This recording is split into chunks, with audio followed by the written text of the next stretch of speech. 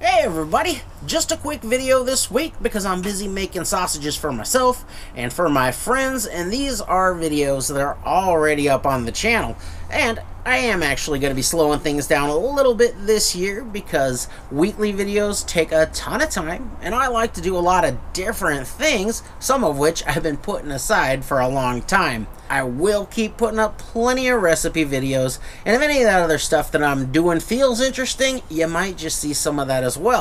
But for this week, I want to talk about an issue that I've been asked about a bunch of times on the channel, and that is tough casings on your sausages. So let's take a look at this batch of jalapeno and cheese sticks that I've got in the smoker right now, and we'll see if I can answer that question for you. Now, these sausages have been in here for a while, and as usual, after I stuffed these, I hung them in the sausage closet for an hour to dry out the casings, then I brought them out here, and since these casings were nice and dry already, I went right into a 130 degree smoker.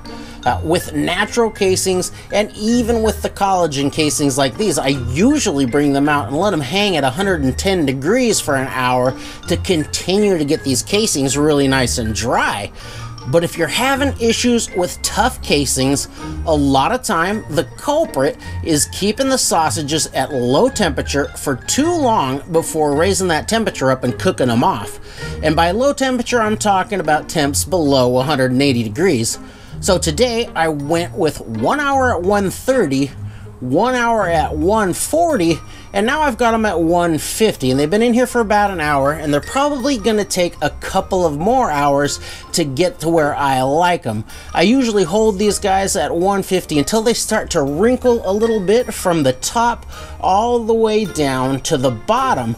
Then I bump it up to 180 for a quick finish. But if what you want is a drier stick like the ones you can buy at the grocery store or off the mini mart checkout counter, those are usually dried way down and have a really deep wrinkles and concentrated flavor, and they're great. But one way to get there is to continue to let these hang in the smoker at 150 until they dry out and look that way, then bump it up and finish them at 180. But that can lead to these tough casings from cooking too long at low temperature. It's usually not that bad, and I've done it that way plenty of times, but if you don't want to risk it, there is another way. And that is to let them hang. Now, I pulled these out of the smoker when they hit 155 degrees Fahrenheit internal, and these look about the way that I like them. They're still nice and plump, and they're going to be good and moist inside.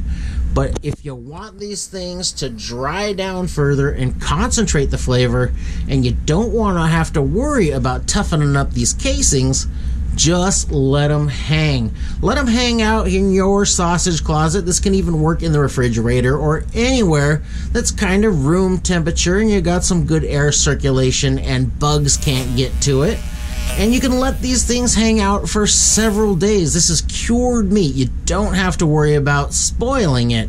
I mean, just look at that little box that sits on the mini market countertop day in and day out. Let me tell you, they're not changing those things out daily. So, I'm going to pull some of these out now and put them in the refrigerator. And the rest of them I'm going to let hang out here for a day or two or three days until they look nice and wrinkly and dry, and then we'll compare the two. Much, much, much later. Now, let's take a look at these two sticks from the same batch. Here's the one that I put into the refrigerator first. I took this out of the smoker and then dunked it in the ice bath, and then I let it hang in the sausage closet for almost 24 hours, and then I put that into the refrigerator. You can see it's still a bit flexible, but it's not limp. This thing can stand on its own. Nobody's looking for a limp sausage. Now let's give that a try. Mmm. It's really tasty. It's still nice and tender. It's got a good amount of moisture left in it. And that casing is not tough at all. Now take a look at this one. This one has been hanging in the sausage closet for three days and you can see the grooves are much more pronounced here than that first one because it's lost significantly more moisture. And when you're letting these hang for an extended period of time, just take a peek in there every day, give your sausage a little tug and a pull. Never be afraid to handle your sausage. And that way you can keep a close eye on it because if you let this thing go too long, it's gonna be thin as a pencil and hard as a rock, which is probably just as bad as a limp sausage. So just take a look at that. It's stiff as a board, and check this out. Ah, yeah, that has a great snap on that casing. Well, let's give it a try. Mmm. It's definitely got a more concentrated flavor, but it's still not too salty at all. It feels a little fattier on the tongue because now it is a little fattier than the first one because it's lost some moisture. Just you can take a look at the diameter of these two and see how much girthier that first stick is than this one. But I like these both quite a lot. And I normally take them out and make them this way, even though I like this just as much, but this is closer to the kind that you can find at the store. They're both great versions of the same sausage, and you can make both styles in a single batch, so if you can't decide whether you want medium moist or gas station groovy, just go ahead and have both. And that is just the tip of the week.